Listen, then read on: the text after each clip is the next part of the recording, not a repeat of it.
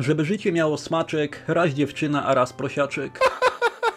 Szanowni Państwo, witam w kolejnym wydaniu wiadomości. Tym razem ponownie wrócimy sobie do afery końskiej, która zdaje się nie mieć końca. Jeden z popularniejszych freakfighterów ostatnimi czasy, a mianowicie Denis Labryga, postanowił spotkać się z transpłciową kobietą. W jakim celu? Do tego zaraz przejdziemy. W pierwszej kolejności warto powiedzieć jasno. Każdy ma pełne prawo spełniać swe marzenia i każdy ma pełne prawo wielbić kabanosy, niżeli słodziutkie muszelki. Wczoraj na instagramowym koncie kobiety pojawiły się bardzo niepokojące nagrania z zawodnikiem. Jak wynika z relacji, miał zaatakować kobietę i spierdzieć jej się na twarz. Ile w tym prawdy? Czy w ogóle była to prawda? Tego nie wie nawet Aitu Śminka, który podobno czekał na swoją kolej. Cytując jeden z wpisów, zaatakował mnie Denis Labryga. Czekam na policję. Do czasu rozmowy z policją i najlepiej z prawnikiem wolę nie upubliczniać nagrań. Wkrótce wyjaśnię co zaszło. Koniec cytatu. O jakie nagrania chodziło? Czyżby Aitu z Denisem mieliby walczyć o względy kobiety? Przyjrzyjmy się temu nieco bliżej. W ostatnim materiale o mięśniaku porównałem go do Natana Marconia. Natan jak wiadomo był w Tajlandii. Wiadomo również o jego przygodzie z bojami, o której sam parę razy opowiadał. Coś mi tu śmierdzi i tym razem nie jest to cieplutki bączek bombolady. Wytężmy więc swe umysły i postarajmy się spojrzeć na sprawę nieco bardziej analitycznie. Denis ma 5 liter. Nathan ma również 5 liter. Hmm. Marcoń ma 6 liter. Labryga ma 7 liter. Jeżeli od 7 cyfer z nazwiska Labrygi odejmiemy 6 cyfer z nazwiska Marconia, wychodzi nam 1. 1? Hmm. Jeden wielki, soczysty kabanos.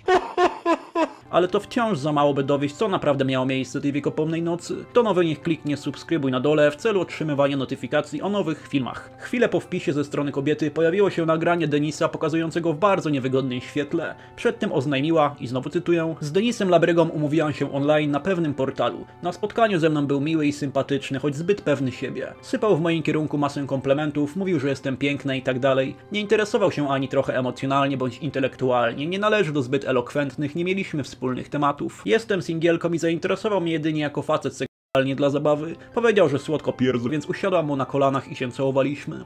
W pewnym momencie rzuciłam tekst, a ty nie masz dziewczyny? Oj, nieładnie, nieładnie. Na co on zapytał, czego kojarzę. I odparł, że tak, Nathan Marcoń po roku w Bangladeszu.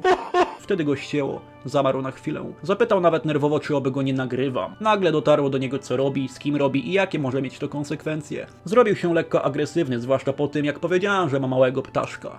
Zaczęłam nagrywać, co do mnie mówi, bo bałam się, że wezmą mnie zajtują na spółkę. Gdy pod koniec rozmowy go wyśmiałam, on zepchnął mnie z kanapy, na której wcześniej robił kupsztala w pozycji na małysza i zaczął mówić, że zrobi mi kuku.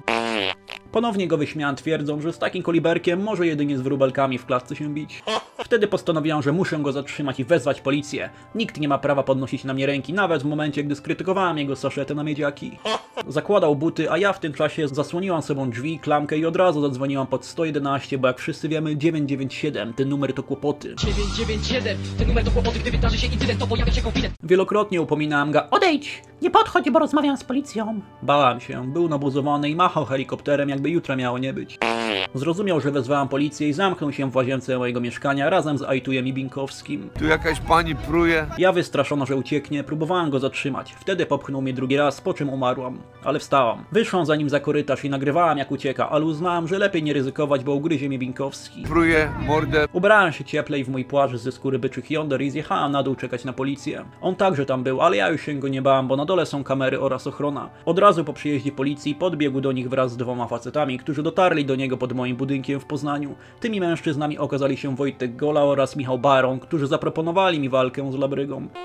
Stwierdziłam, że nie jestem wróbelkiem, tylko pięknym motylem, więc odfrunęłam za światy. Policja rozmawiała ze mną, ale mimo iż nalegałam, nie mogli go zatrzymać, bo nie było ku temu podstaw. Powiedziałam, jak tu nie ma? Oni mi na to, że malutka paróweczka nie stanowi żadnej podstawy, więc odlecieli swoimi jetpackami.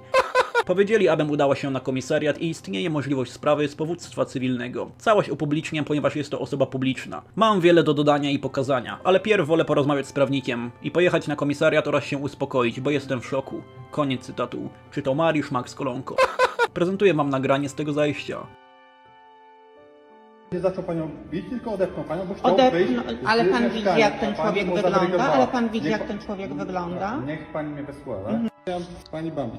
Tak. Przedstawiłem pani sytuację prawną. Ta, a pan...